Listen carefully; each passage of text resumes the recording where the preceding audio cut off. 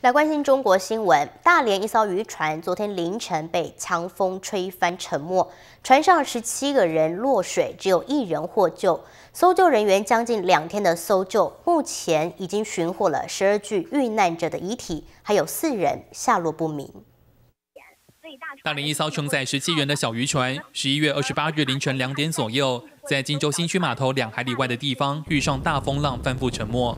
据报道，落水渔民是通过随身携带的 GPS 卫星电话向有关单位求救，但很显然，民间的速度比官方来得快。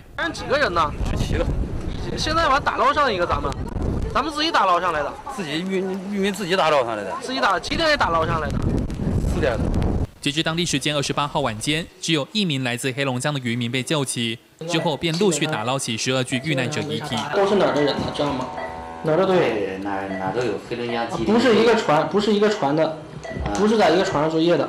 对。岸边等候的家属忍不住痛哭失声。